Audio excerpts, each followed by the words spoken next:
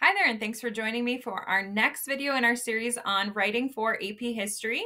So we're going to be looking at the contextualization point today. I'm your APUSH Lady Boss. I have 10 years experience teaching AP US History. I have been an AP grader for five years, and I have my Master's in American History. And so you can trust that I have done a lot of work to make this as simple as possible and help you to achieve the contextualization point. If you would like a um, notes guide to follow along as we work through this video, check the description below and go ahead and click to download. So first we want to understand what the College Board describes on the rubric. So we need to describe a broader historical context relevant to the prompt.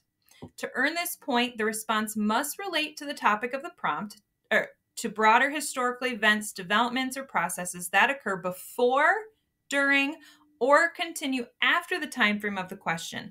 This point is not awarded for merely a phrase or reference. It's one point, and these rules apply to all the AP histories AP US, AP World, and AP European history. So, the key here is that contextualization can occur before, during, and continue after. So, what is contextualization? It's the broader situation in which the prompt exists or happens, which helps in understanding it. This is most often found in the introduction paragraph before the thesis statement. So what I'm going to be teaching you to do in this video is I'm going to try to simplify it to help you ensure that you get the point. Are there going to be other ways to get the point? Absolutely. But my goal here is to help you find the easiest and quickest way to get this point. So when I teach this, I teach it as the idea of dominoes. So if you ever had dominoes growing up, or maybe you still play with them, but you stack them up, and when you knock down one, hopefully the rest of them fall down. So the easiest way to get the contextualization point, I think, is to think about what is happening directly before the prompt and then explain that. Now, it's really important that we cover the difference between background and contextualization. A lot of people use this word background as a way for students to understand what they need to do. But oftentimes, when students simply write the background, they forget the importance of the relationship between the dominoes.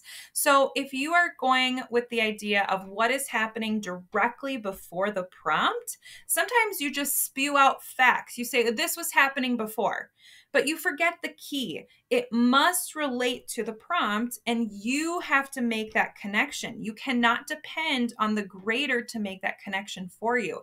And so it's really important after you describe what's happening before the prompt that you connect it to your thesis. And I'm going to show you how to do that. So, first, we have to determine the situation. So, we have to consider broader contexts that are relevant to the topic of the prompt. Now, when I teach students to work on contextualization, I always require them to work on their thesis first. So, you get your prompt, you brainstorm what you're going to write about in your paper, you create your basic outline, and then you write your thesis then do context. So, if you don't know how to write a thesis, I encourage you to check out my earlier video on how to write a thesis. But I'm assuming that by this point, you know what your argument is, you've categorized it, you know your body paragraphs, you know your thesis. So, now you're going back to contextualization. So, think about some, these are some of the ways that you can think about what are the broader contexts? Sometimes it's helpful to remember the themes that are mentioned. These are the themes of AP US history. So sometimes migration and settlement or work exchange and technology, those can be themes that draw some ideas into your mind about broader contexts. Other times, students really latch onto the PERSIA acronym. So, the political, economic, religious, social, intellectual, and artistic trends that are happening in the period. And I would encourage you to really focus on the political, economic, and social. So, think about what trends are happening during this time, and that might help you consider a broader context. For students that don't quite grasp these ideas, I tell them to just brainstorm words that end in ION or ISM. So I've listed nine examples, but there's numerous others here. Expansion. This is a theme that happens throughout history, and it's one that can be relevant to a whole variety of prompts colonization, revolutions, immigration, globalism. All of these are huge, broad contexts that relate to a variety of prompts. So if you can consider, if you can brainstorm some of these words, that might help you think about something that's relevant to the prompt. So then you continue on, and I'm going to give you a sample thesis here. Now, this is, I'm sorry, I'm giving you a sample prompt. This prompt is from the APUSH test from 2021. However, the content is relevant to all the AP histories. Evaluate the extent to which transatlantic voyages in the period from 1491 to 1607 affected the Americas. So, first, you need to brainstorm. Consider before, during, and after this time period. Now, you want to generally stick to 50 to 100 years and as, as close to 50 years as possible. Really, when we're thinking AP US history, it's a tight time frame. And so 50 years is going to be a better time frame than European history or world history that are looking at a wider time span. So here are some that are related to this prompt colonization, the Renaissance, scientific revolution, continental isolation, and religious competition. A lot of these pertain to the words that end in ION or ISM. They also, you can see I've got a religious competition that's connected to the Persia acronym or the Renaissance that's artistic, scientific revolution that's related to the theme of work exchange and technology. And so you can see that I've pulled these words from these different ways of brainstorming.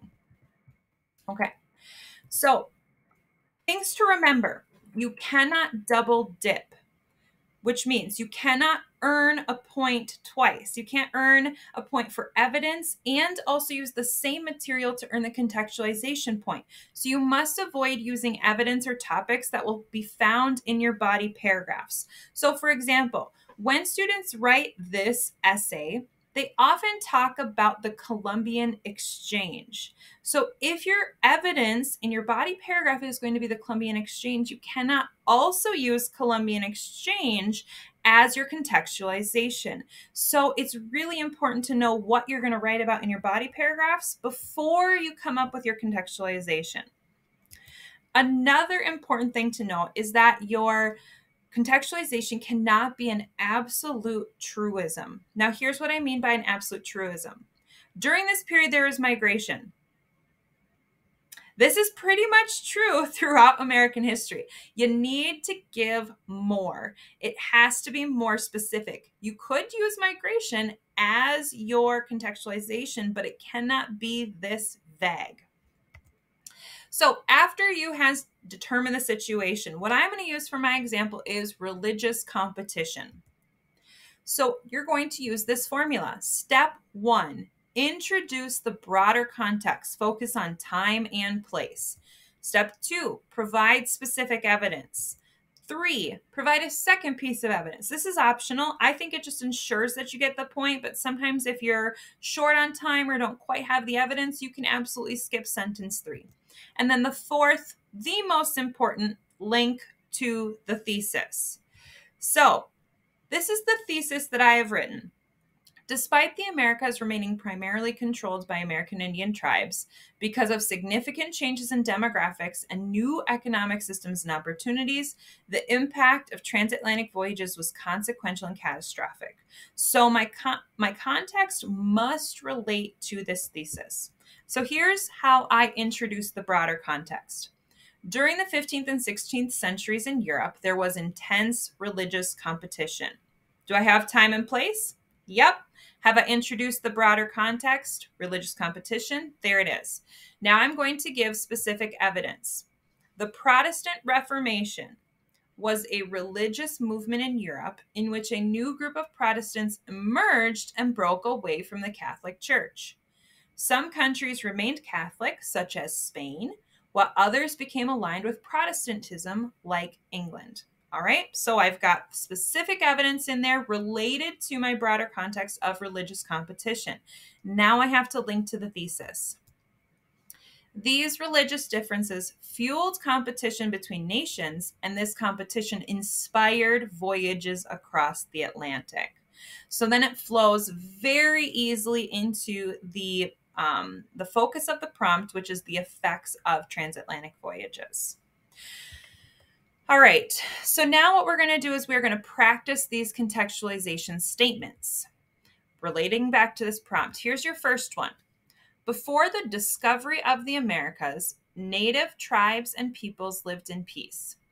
Then Columbus sailed the ocean blue in 1492, and he brought a long train of opposition, killing, and stealing of the land.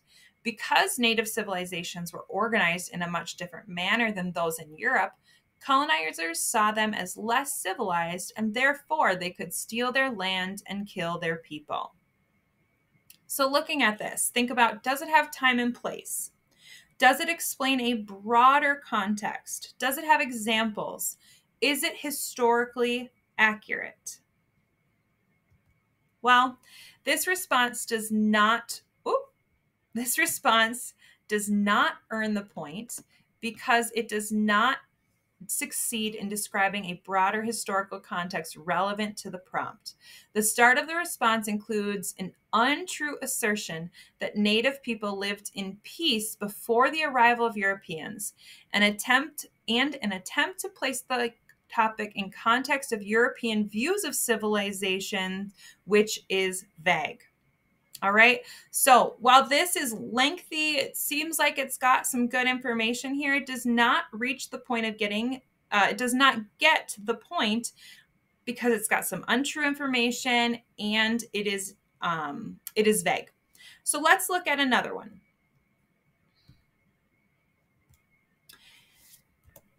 The Americas were largely free of European involvement before Columbus discovered the Americas in 1492 in the service of the Spanish monarchs.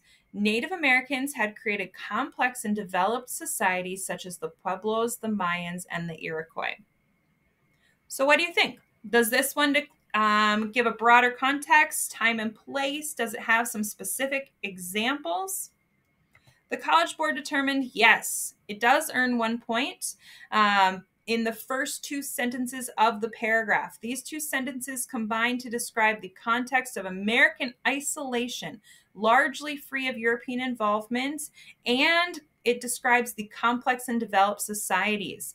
It is relevant to the prompt because it establishes the pre existing conditions that were affected by the voyages and weren't just a passing reference.